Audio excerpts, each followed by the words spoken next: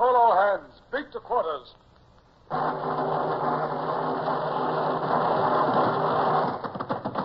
out the guns. Stand by the starboard battery. One broadside into her, if you please, Captain Bush. Pointers on target. Linstocks ready. Aye, aye, sir.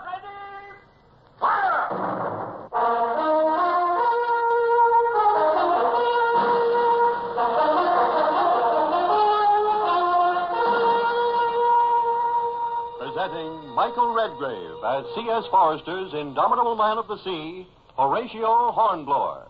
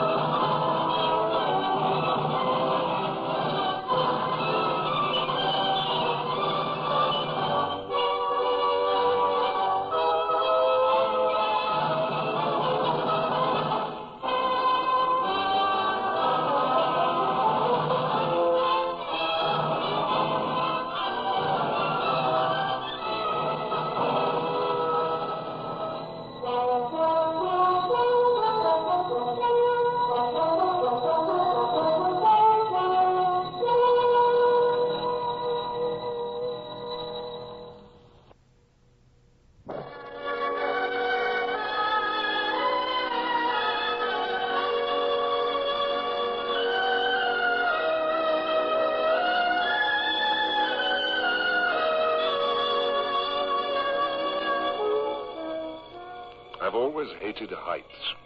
I still grow dizzy on occasion, much too easily. But once, rather early in my life at sea, I learned that even heights are not one whit so bad as fear. Cold fear itself. Our frigate, the Indefatigable, had chased the French corvette Papillon into the mouth of the great French estuary, the Gironde. And there we were, prowling like a wolf outside the sheepfold. And now, Mr. Chad, let's have that chart, if you please. Uh, no, no, uh, the one showing the mouth of the Gironde. I've penciled in the positions of the French shore batteries. Uh, pull your chairs down to this end, gentlemen. Our chase, the Papillon, uh, lies just here. Mr. Eccles took the bearings. You've been wondering what I plan to do about her. Well, you gentlemen are going in with our small boats, launch, cutter, jolly boat, to fetch her out. Oh, so that's it, sir.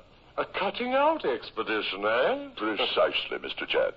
Mr. Eccles will be in general command. Uh, we've already discussed it. Mr. Eccles, will you kindly outline our plan? Yes, sir.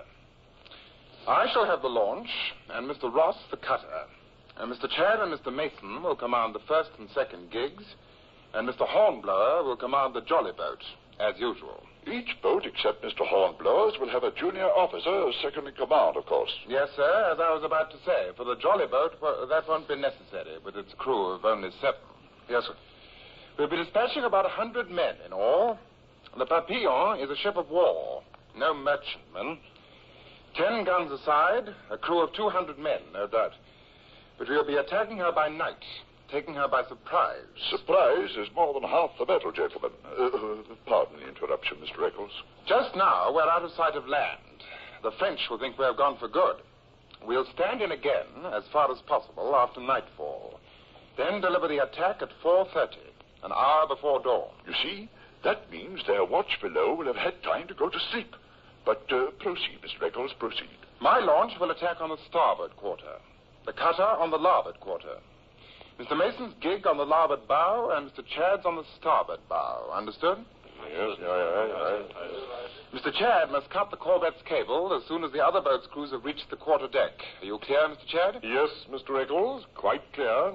Mr. Hornblower, with his jolly boat, will wait until the rest of you have gained a foothold on the deck. Then he'll board at the main chains and ascend the main rigging, paying no heed to whatever fighting is going on on deck. He'll see that the main topsail is loosed and will sheet it home on receipt of further orders. Clear, Mr. Hornblower? Uh, yes, sir. Uh, yes, yes, sir. I myself or Mr. Ross, if I'm killed or wounded, will seize the wheel and attend to steering the Corvette as soon as she's underway.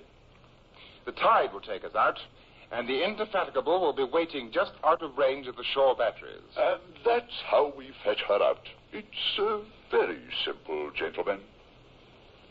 It didn't seem so simple to me. At least not my own part of it. Of course, I should have spoken up then and there. I, I was no main topman. I, I hated going aloft. I was unsure of myself in the dark up there. I was utterly appalled at the thought of finding my way amid strange rigging. And, well, I opened my mouth to point this out. It was my duty to question my own fitness. I'm sure, but Mr. Hornblower. what was this that Captain Pellew was saying? It seemed to concern me. And uh, since we're short-handed on midshipmen just now, I'm sure Mr. Hornblower won't mind the rigging job, even if he has newly ascended to the happy state of an acting lieutenancy. After all, he's younger than most of us, uh, should be that more agile as a consequence, eh, Mr. Hornblower? Well, I, well, I hope so, sir. Uh, of course. Then uh, you don't mind our assigning you as a top man? Well, no, sir. Um, but, no, no, not at, not at all, sir. Well then, gentlemen, I think that's all. I fancy you should all begin your preparations. Aye, aye, sir. Aye, aye. The sun is about to set. You know your duties, and each of you will find you have plenty to do, I have no doubt.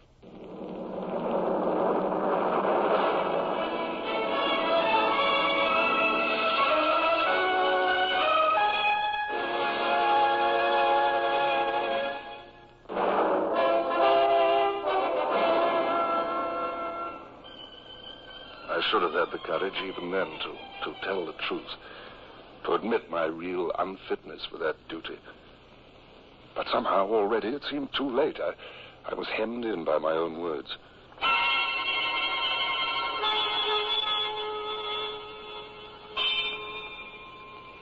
The Indefatigable crept inshore through the darkness. The time for the attack came very slowly. Still, it came.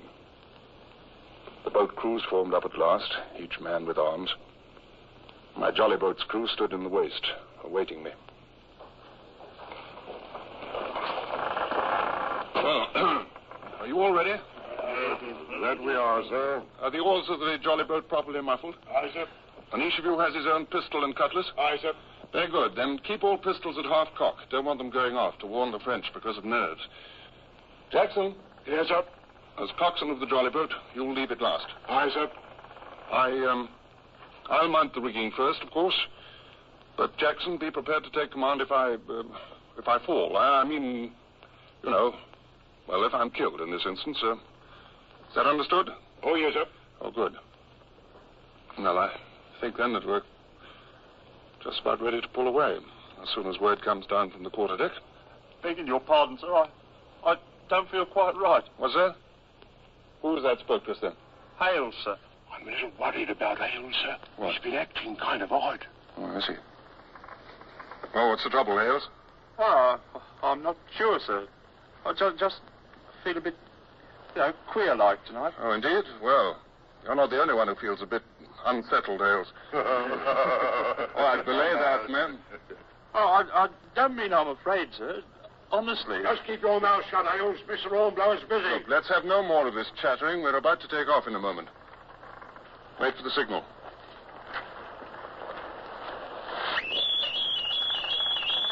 Stand by to lower boats. Aye, sir. Lower away.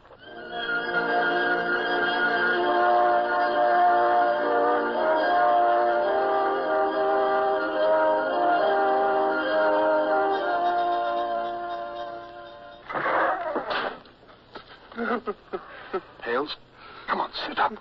Go on, pick up that oar. Now, go on. We're nearly there. Oh, take his oar, Jackson. Come on. Jackson, do you hear me? Aye, sir. If I can just get his hands off. I, I want to do it, I understand it, but I, I, I can't. You might try pouring Just- water on him, sir. There's the bailer, Andy. Sea water will cure almost anything. Too hot. Too hot. Shut up, you. Too dark. Shut your mouth. Oh, but I, I, He's out of his mind, sir. That's the truth. Mr. Arblar, sir. Shut up. Sir, Sir, we, we've got to silence him, haven't we? Yes, Jackson, yes, we must. Lives of a hundred men at stake. Oh, I should, I should never. I know how I can do it, sir. Under, unship uh, that pillar. Aye, aye, Mr. Jackson. Yeah, what are you up to, Jackson? The only thing we could do, sir, knock him out.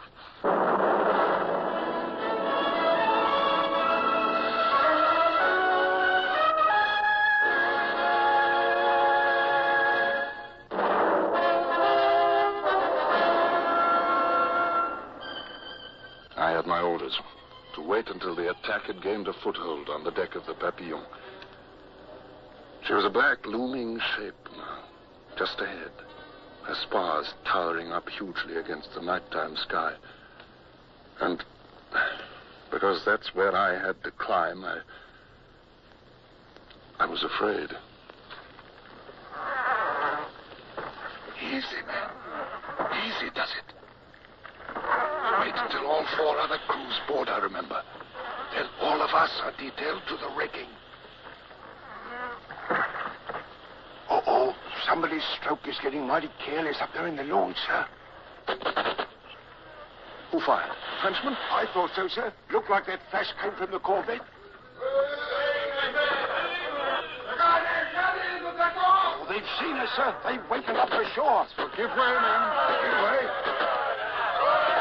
Four muskets. Our boats are right alongside her now. And our boys yelling like devils. Steered the jolly boat towards the enemy's larboard main chains, trying to make out what was happening on board as our other crew swarmed over her sides from four different quarters of the ship. In oars. In oars. We put the tiller over and we swelled alongside the corvette. Our bowmen hooked onto the main chains. From the deck above came a sound like a tinker hammering on a cooking pot. The clash of cutlasses and sabers. Now the time had come for acrobatics. I stood up in the stern sheets and sprang for the chains. Reached them with a mad leap and hauled myself up. Follow me, then. We'll know what we have to do. Up the shrouds to the topsail yards. Aye, sir.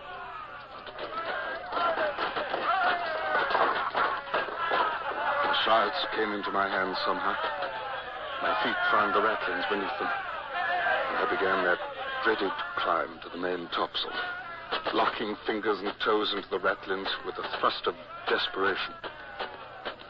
The flash of pistol shots lit the seething scene on deck, but I didn't dare look back at it. I kept my eyes from my climbing. Jackson? Get in, Henry Jackson. Hi, sir. I can. I'm right behind you, sir. At my elbow, I felt the futtock shrouds. I transferred my weight to them. It was a long way down to the deck by now, I noticed. Then I hauled myself to the topmast shrouds and began the last stage of the ascent. The shouting on the deck fading a little in the distance. Then here I was at last, at the topsail yard itself. My arms gripped it. My feet felt for the foot rope. Felt again, and then God. What's that, sir? Did you speak to me, sir? I, I, I, You all right, sir? yes, but Th- Jackson, there's no foot rope here. There's uh, no rope at all. Oh, maybe those Frenchies don't use one. Don't like that, no, sir. A hundred feet above the deck I hung, kicking and squirming with no hold for my feet. Yet the gaskets had to be cast off and the sail loosed. Our whole venture depended on that. I, are you there, Jackson? Yes, sir. Uh, look, you one of one of those seamen who can run out along the yards, standing up like a, you know, like like, like a tightrope walker? Oh, sir, I have done it. Yes, in my younger days, sir. Yes. Well, it's it's the only way to reach the yard arm now. I was nothing but a coward. Coward. How? What'd you say, sir? Nothing, Jackson. It was then that, suddenly, I remembered Hales, the man who felt, as he put it, queer like. I'd been stern enough in dealing with him. I'd even condoned his being struck down. And I remembered my refusal to admit that I shared with Hales that that panic and fear. And that thought I, I couldn't bear for one instant longer. It was even worse than the thought of falling through the night down to that deck. Oh? Here's for it, Jackson. Uh, Andrews and Carson, right behind you. Aye, sir. I brought my knee up onto the yard, heaving up till I stood upright. My instinct told me not to dally there for a second, though. Come on, men. Follow me out. Aye, aye, sir. It was 20 feet out to the yardarm, and I covered them in a few frantic strides. My hands found the gaskets. The men of my crew reached for them, too. Hunter ca- had gone to the starboard yardarm, and the sail came loose like a charm. I felt a surge of triumph.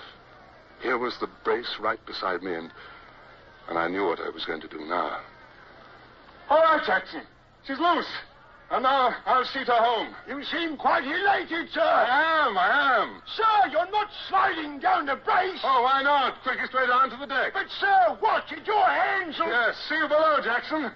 Goodbye!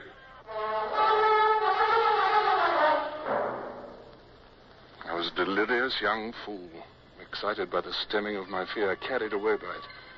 And I slid so fast down that rope that well, I nearly cried out in pain. The rope stripped the skin from my hands like peeling off a glove. Well, Mr. Hornblower, you plummeted down here like a cannonball.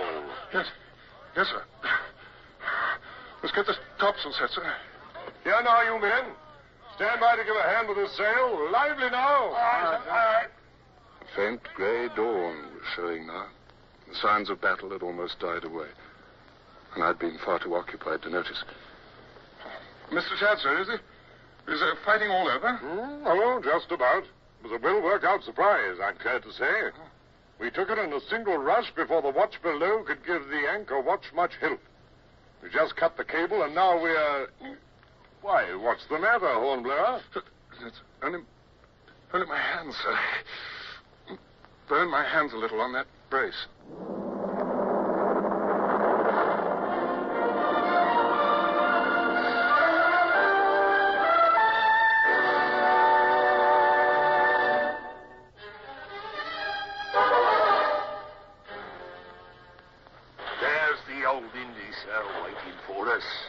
Sure enough, Hunter. She's lying to just out of shot from shore.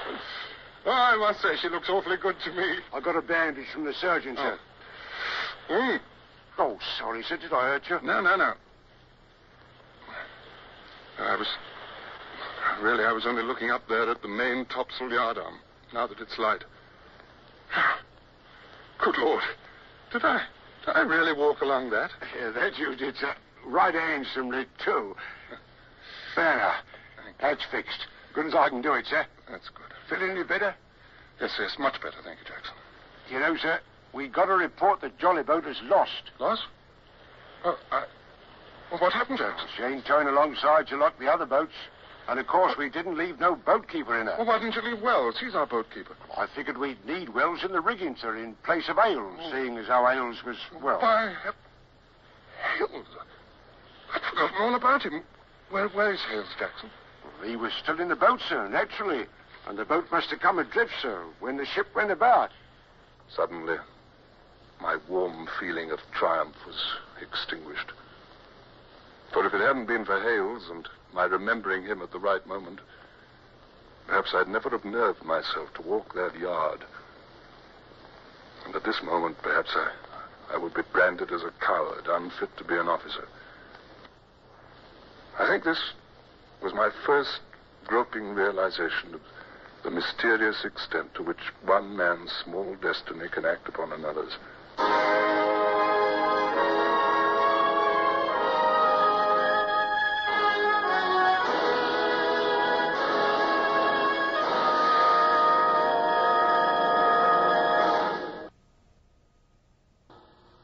Horatio Hornblower, starring Michael Redgrave, is based on the novels by C.S. Forester. Music composed and conducted by Sidney Torch. Produced by Harry Alan Towers.